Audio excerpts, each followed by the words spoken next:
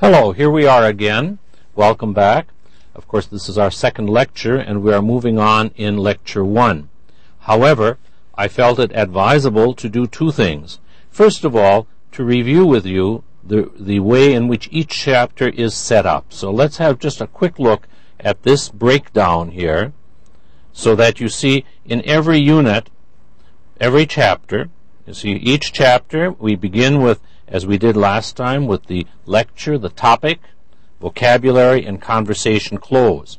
Then we move to the section in lecture two, that the section, second section of the unit or of the chapter, where we do a passage.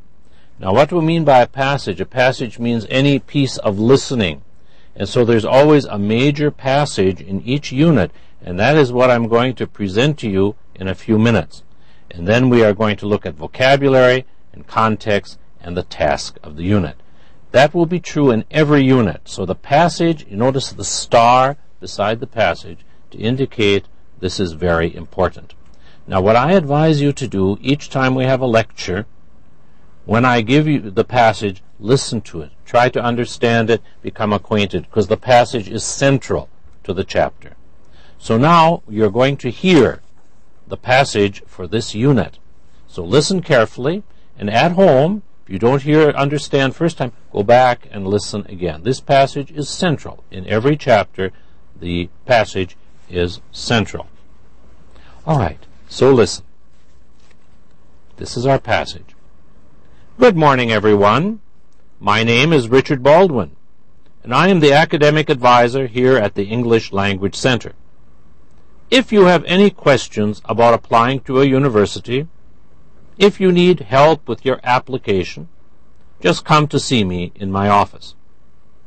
So, uh, this morning I want to give you a general introduction to the university system in the United States and Canada. First of all, I'm going to tell you about three types of university courses. And then my second main topic is course requirements.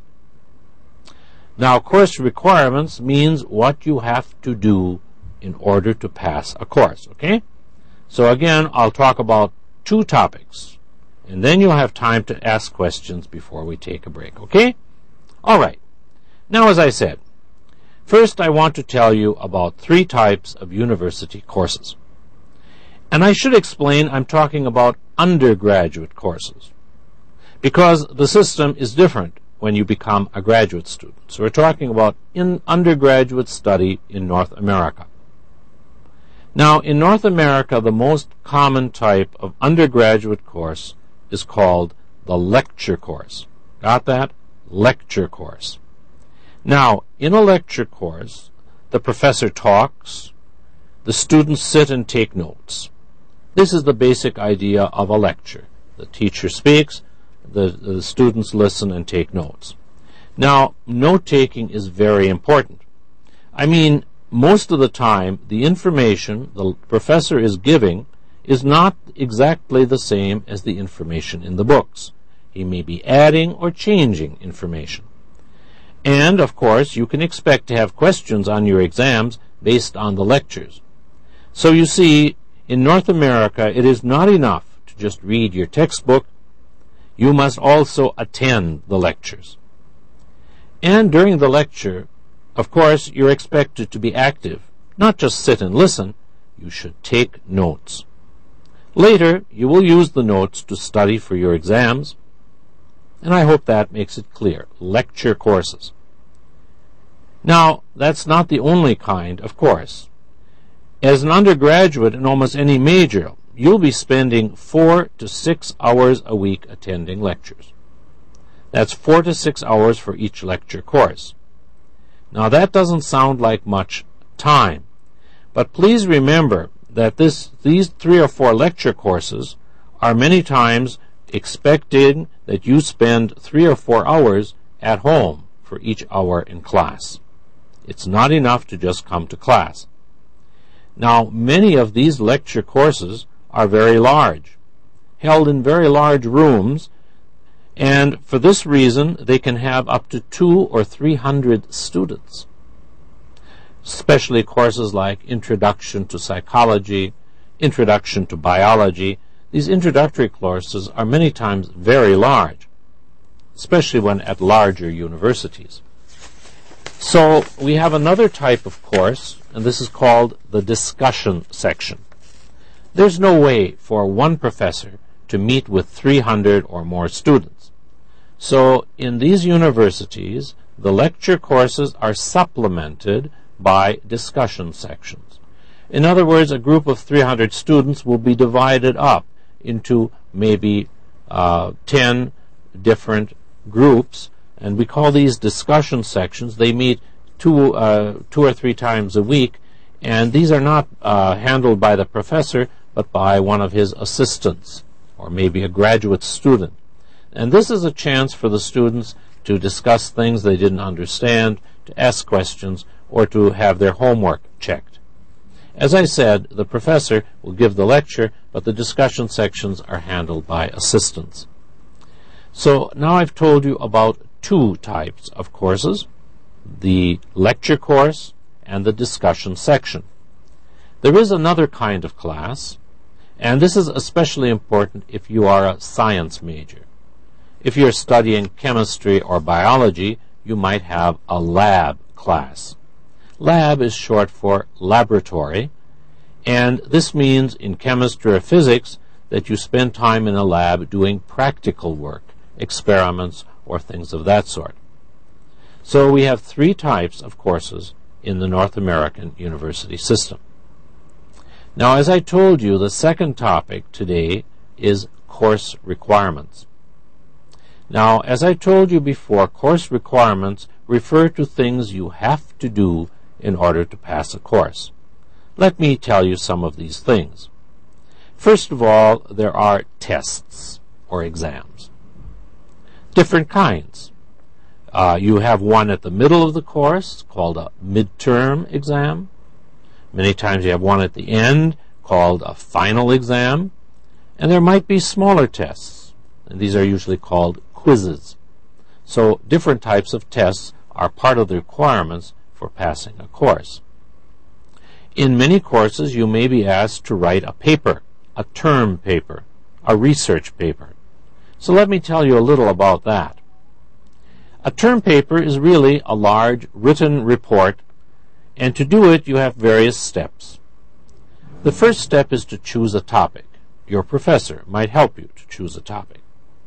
Then, you would do research on this topic on the internet on a library, or even talking to people. This is doing research, reading and taking notes on that topic. And then the final step is to use your notes to write the paper in your own words. I said those very slowly. In your own words. Now, this is very important. You must use your own language and not take things from other places. Huh? Now, this research paper might be five pages, 10 pages, even 25 pages long, but it is very important that it be your own work. Now, this is the point where I wish to introduce another term, and this is a big word, plagiarism. P L A G I A R I S M. Plagiarism. Plagiarism is a type of cheating. It means that you put things in your term paper that are not your own work. And this is a very big problem. Uh, it's a warning to all of you that if you do this in North America and get caught, the punishment will be serious. You will certainly flunk the course. You might even be kicked out of the college or of the university. So plagiarism is something to keep in mind. Now, that was a short uh, passage about types of university courses, course requirements, and plagiarism. So I'm going to stop here now and end the, this passage. So, for all of you, that is passage for the first unit. Now we go to our exercises based on that passage.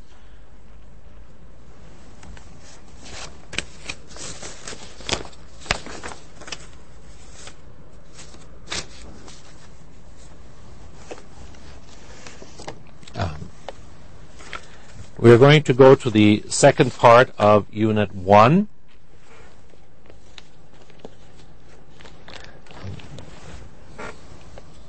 Think I have something. I'm sorry. Yes, here we are. Sorry about that confusion. Confusion can happen anywhere. So, this is what we just heard about lectures in undergraduate courses in North America. Please do listen to this passage again. Uh, this is an orientation meeting uh, with the academic advisor uh, in the English language program. And you remember that you heard about the different types of courses. Now, at the bottom of the page, some very important notes for you. Culture note. Degrees. When you study, at the end of the study, you get a degree. Now, in English, these are designated in particular ways in North America, also in England.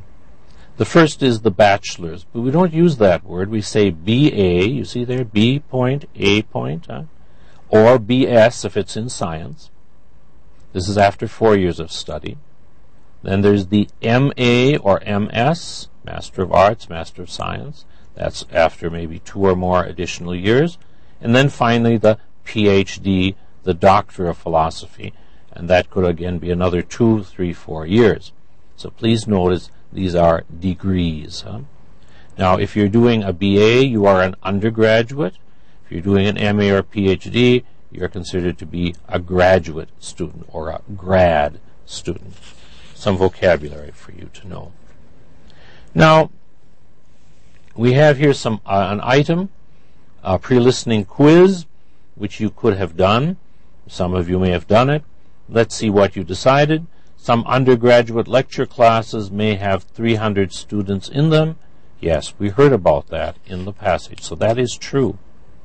Number two, courses at American and Canadian universities are taught only by professors. No, that's false. Remember, we heard that sometimes they're taught by graduate assistants or by grad students. Uh, number three, the information in lectures is the same as the information in textbooks, so attending lectures is usually not necessary. No, we heard that's not true because the lecture might give additional or different information. So it is important to attend lectures in North America. Number four, your homework will always be read and corrected by your professor. No, we heard that many professors have many, too many students, but they have assistants that will do that work for them. So that's false. Number five, a discussion section is a class where students meet informally to help each other with their coursework. I've marked that false because it is formal. It is a class. It counts. It is a requirement. So it's not informal. If it's informal, we just say a discussion group but not a discussion section. Section is part of the course. Six, the ability to write well is not very important for undergraduates. Uh, no, that's definitely false because we heard writing is very important. You have to take notes, and take, taking notes is part of that. Number seven, only graduate students are required to do research. No, we heard that undergraduates in North America also have to do term papers maybe not advanced research, but nonetheless research. And finally, number eight, if you cheat and you are caught, you might have to leave the university. As we heard, that if you cheat, such as plagiarism, you may be kicked out of the college or the university. Now, on this page, you also see some important vocabulary that was in the passage cheating, discussion section, experiment, laboratory or lab, lecture, midterm exam, plagiarism, quiz, requirement, teaching assistant, term paper. I hope you understood all of those from the context. The verbs we had were to attend, meaning to be present, to fail a course, which is the opposite of passing it, to get kicked out, and to take notes. Huh? So those were important vocabulary in our passage. Now, note taking pretest. Which two topics will the speaker talk about? Well, if you listen back, you'll hear that he's talked to types of courses and course requirements. This was made clear at the beginning of the passage, And often you'll find at the beginning, the, the speaker, the professor, tells you what the different points are. So it's very important at the beginning to have an idea of the structure of the passage. Number two, which of the following is not a type of university course? Only C, advising. The others, we had lecture course, lab course, and discussion section. Those are all courses. Let's continue with our work here. Number three, which two statements are true? Well, I marked American students use their lecture notes to study for exams. Yes, that we've heard is true. And C, discussion sections uh, can have three. Oh, that's not true. That I, I'm sorry, that's a mistake there. My heavens, I've made a mistake. How can that be? No, that is not right. Um, this is the one that should have been B. In undergraduate courses, the professors meet privately with every student. We heard no. They many times have very large groups. So please notice the true statements were A and B. That C was a slip of the hand. That can happen. All right. Now at the bottom we see taking notes. Now this is something you will need to do. I can only give you examples. It would be very good if you listen to the passage and try to take notes and then compare with what we look at here in class. Now, when the lecture began, he told you that he was going to talk about the university system in North America. He immediately said, I'm going to talk about two things three types of university courses and course requirements. Now, it's very good if you can get those down because that's the basis of your structure in taking notes. Now, on the next page, they talk about strategies to taking good notes.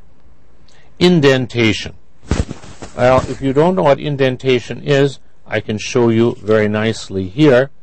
Notice at the bottom here, we have indentation. Notice that these notes don't go down the side of the page. When something is less important, it's indented. Here, indented, indented. So you go into the page in order to show that this comes under the subject. So indentation means move your text to the right.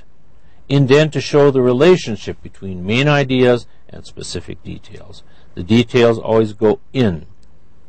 Write main ideas next to the left margin. Indent about one half inch, that's one and a half centimeters, as information becomes more specific.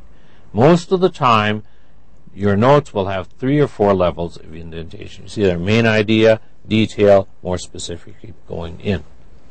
Now, basic point in note taking, keywords. When you take notes, do not write every word. That would be dictation.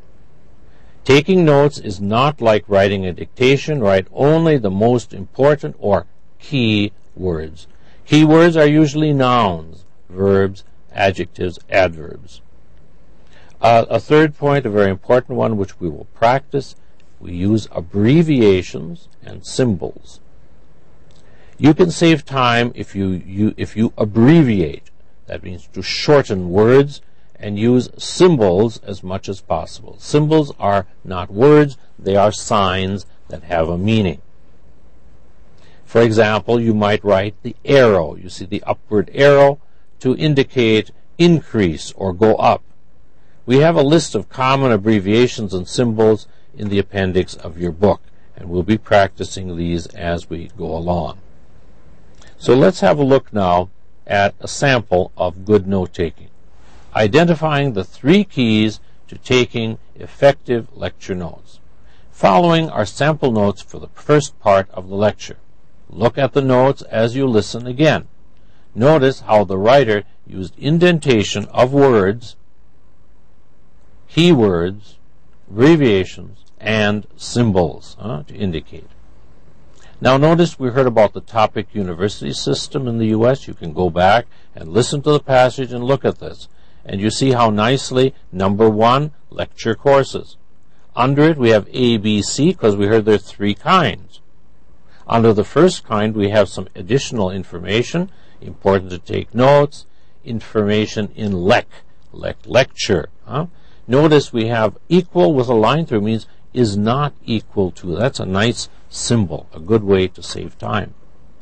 Exam cues.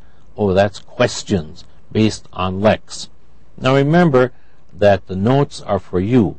You must be able to understand that lec means lecture. Don't put L if you don't know what it means. Huh? Shortening is good if you keep the meaning, but the meaning is your decision. Notice uh, in B, STS. That means students. Maybe you want to write STDTS for students. No problem. But you need to get the information down. Notice abbreviation, hours, week. So different abbreviations and symbols are help in note taking. Let's look at some more of this here at the remainder of the lecture here. Okay, discussion section, smaller, 20 to 30 students. Ask questions, go over HW. Well, HW should mean homework. How do we know that? You have to know that. You write it down. If it's too uh, unclear for you, then maybe you need to read H-O-W-K, homework. But standard HW, taught by TA, teaching assistant, you maybe remember from the first book, not prof, professor. Huh? So notice the use of abbreviations and symbols. Do you need to do this? Yes, because you will hear passages, you take down information, and use it to answer questions. Now here they give you an example of something that is not indented, and they show you how this really is not very good. So I thought it a good idea to do it correctly. Huh? Now, when we change that, you can look back if you like. You see now I have made it in order. Course requirements, below it tests, exams, under test exams, midterm, final quizzes, and so this then makes it very clear, and you can have a look at this uh, later on your own. Huh? This will be in your content. All of this will be for you to review later. All right, now we'd like to review the vocabulary that we've had in this uh, in this passage. University courses, professors, course requirement. All of these are important vocabulary for us. Now we move on to our contexts. We always have contexts to do, and here are our contexts on page 17, the context for this unit. Now, in the last unit, I'm sorry, the last course, we also had our contexts, and remember, context is what occurs around information. From the context, you should be able to answer questions. When you listen to people talking in English, it is probably hard to understand all the words. However, you can usually get a general idea of what they are saying. How? By using clues that help you to guess. These clues include words, synonyms, meaning words that have the same meaning, paraphrase. Many times a person speaking explains the word, transitions, stressed words, intonation, a speaker's tone of voice, your knowledge of the culture. All of these you use and we'll see how we do that when we do the context. Now, many tests, as they tell you, such as the TOEFL, measure your academic listening and speaking abilities. This activity and others in the book will develop your social and academic conversation skills. This will give you a foundation for success on a variety of standardized texts. Now we're going to listen to some contexts context based on the same subject we had in this unit. And you remember this unit subject is academic life. So now it's time for us to do our context for the first unit.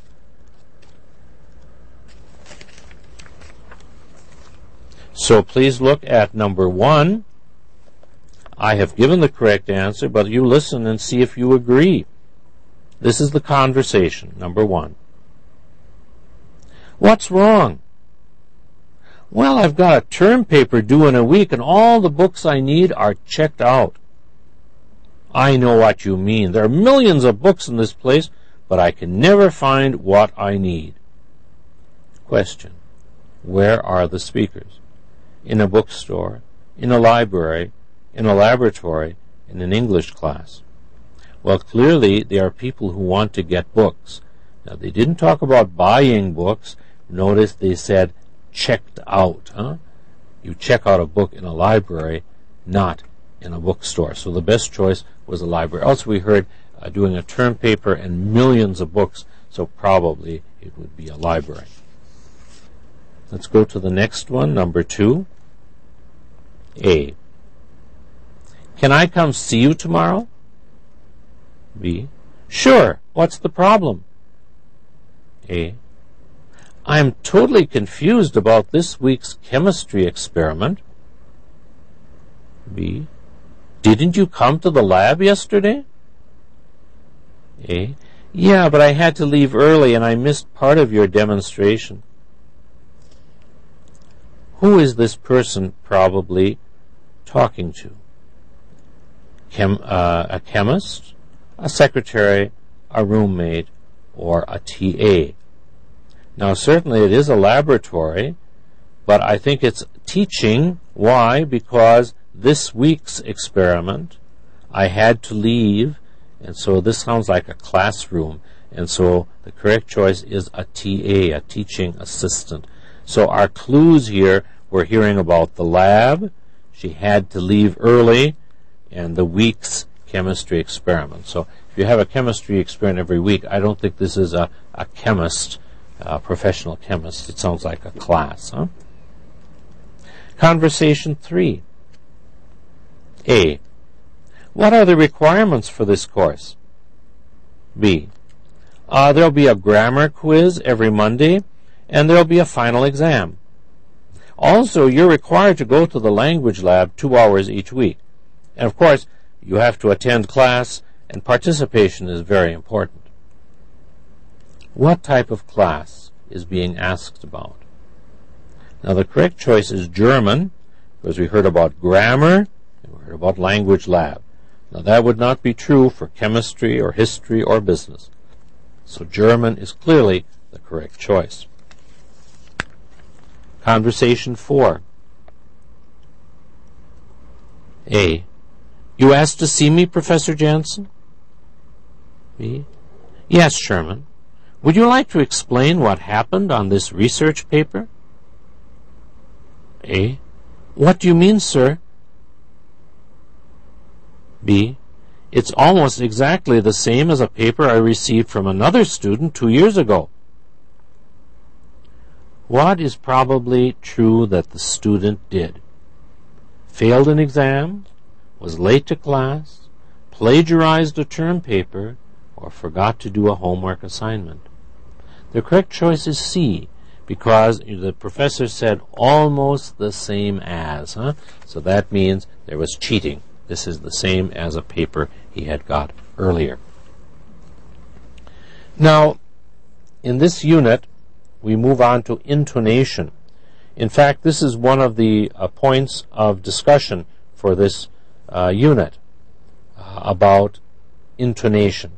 Intonation is the rising and falling of your voice.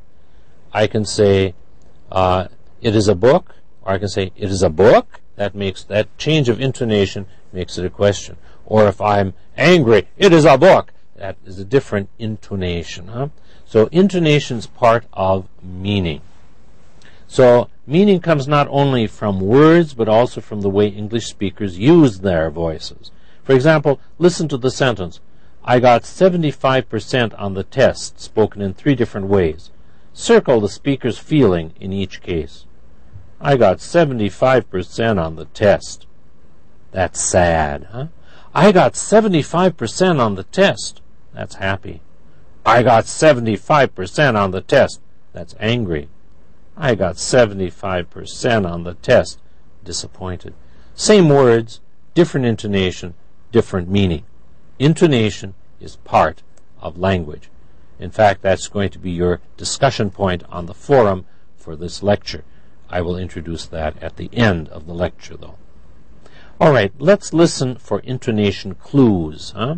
This would be something now you have to listen here uh, to decide uh, in this case, whether the person is excited, uninterested, or angry. Okay, are you ready to do that? Conversation 1A. Hello? Jeff. Ah, this is Ron, you know, from your history class. Oh, hi. Listen, I was wondering, uh, were you planning to go to Ali's house on Sunday to watch football? Hmm, I haven't really thought about it yet. Well, would you like to go? You mean with you? Yeah. How does Jeff feel about the invitation? Excited, uninterested, or angry?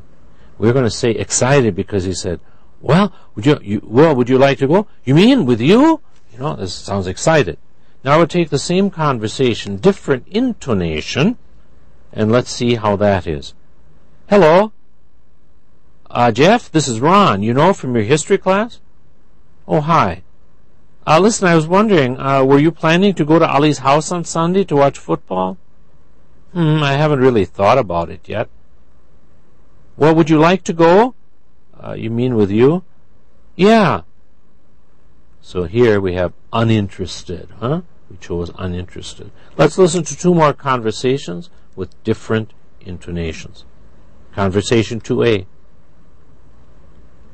Did you hear the news? Professor Bradley had to go out of town suddenly. All his classes are canceled this week. Canceled? I'm really wondering about my score on the last test. Canceled? I'm really. So she's worried about it. But now listen to the same conversation, but with a different attitude. Did you hear the news? Professor Bradley had to go out of town suddenly. All his classes are canceled this week. Canceled? Oh, I have an extra week. Oh, yeah. So that's happy intonation. Intonation is part of language. You should be able to identify proper intonation. Um, some language that we have to look at here on page 19 about accepting and refusing invitations. Huh? Notice in this conversation we have the invitation. I was wondering if you would. Huh? Would you like to go? These are invitations asking people to do it. And so we're going to look at different ways of doing that. Notice here on the next page, making, accepting, and refusing invitation. Would you like to go hiking? I'd love to go. Or refusing, thanks, but I'm busy. Okay, so refusing, so do review that in your unit. Now our last thing in every unit is a task. Our task in this unit is reading a map. When reading a map, you have to know that north is to the top, south to the bottom, east to the right, and west to the left. So you'll need that sometimes in reading a map. We also need certain phrases. These are phrases that you need to know about a map. Check these later. Notice at the intersection, number two, you see down there, at the intersection of the two streets, we have beside the bank, number four. See it down there, beside the bank we have across the street from, on both sides of the street. So please review these and make sure you understand them. Huh? This is about reading a map. Because the way we test you on this is to give you a map like this, and maybe you'd be asked some questions. And that's what I'm going to ask you right now. You see these questions up there, true, false, and true? Well, I did them for you. You'll have them. But now let's do them together, and then you can check them later and see why they're true or false. Number one, the math building is down the street from the Memorial Cafeteria. Now here we have Memorial Cafeteria, here we have the math building. Here, Memorial Cafeteria is down. Down the street is this way. It's up the street. So that is false, huh? Up the street, down the street. Huh? You'll see that in your illustration.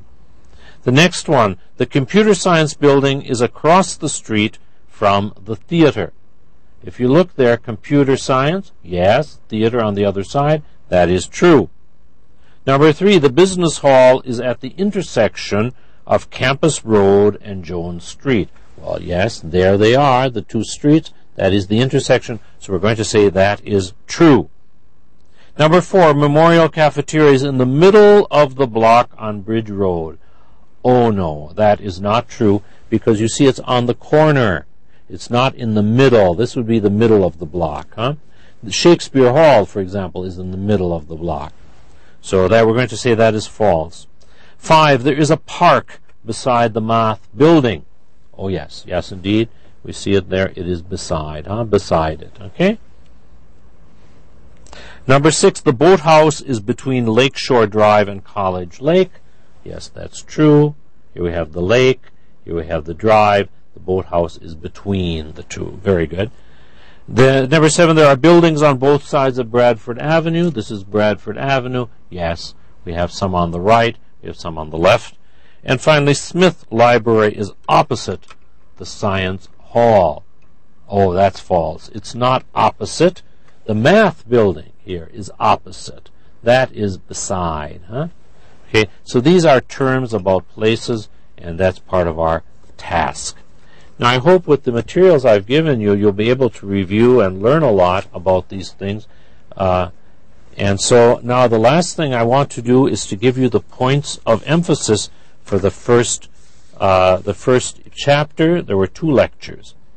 Now this is the question I will for the first one about reductions. Are reductions part of all languages? For example, Arabic, huh? So that's something you need to discuss and talk about. Make sure you understand reductions. That's our first question. The second question is about intonation. What role does intonation play in language? For example, your language, which is Arabic. Huh? What is the general role? So those are questions for Unit Chapter 1. That's lectures 1 and 2. So now we have finished the first chapter. I hope you enjoyed it. I hope you learned a lot and uh, wish you all the best. See you in chapter 2.